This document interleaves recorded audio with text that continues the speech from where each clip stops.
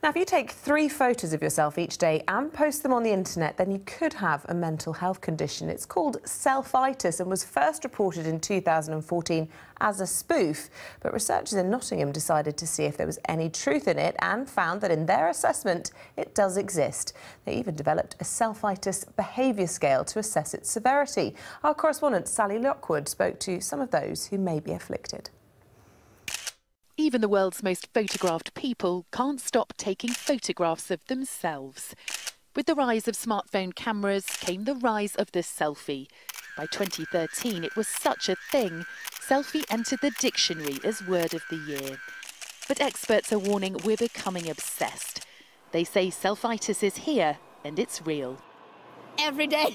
How many times? many, many times. Many times in the kitchen, in the room, in the cooking, anywhere. Why do you take so many selfies a day? Of everyday life and anything I'm doing, I'll just take a selfie. Well, like 15 of these sort of pictures a day? Yeah, or more. And what do you do with them? Upload them. Probably about two, two a day. And why do you take selfies? I don't know, to give me a bit of self-confidence maybe. Yeah? Yeah. Makes you feel good? It does, yeah. So how do you know if you have selfitis? Well, here's how to do a self-diagnosis. If you take more than three selfies a day, you're considered borderline. If you post more than three selfies on social media a day, it's acute. If you take and post more than six selfies a day, well, researchers consider you have a chronic form of the condition.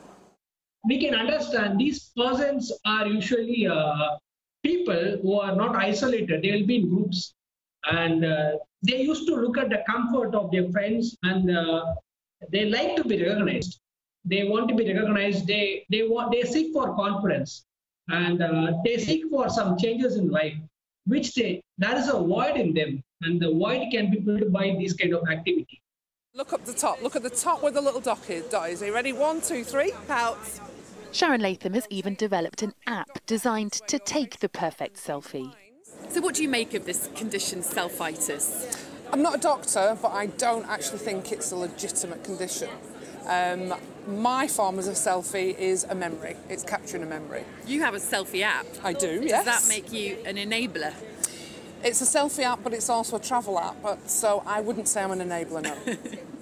Well, some argue it's not a condition, it's just cultural change. The average millennial is said to spend an hour a week taking selfies, which no doubt includes a few retakes. Sally Lockwood, Sky News, Manchester. Oh, oh, oh dear. Oh no, it's just, that's only my first of the day. Um, let's take a look at the weather now.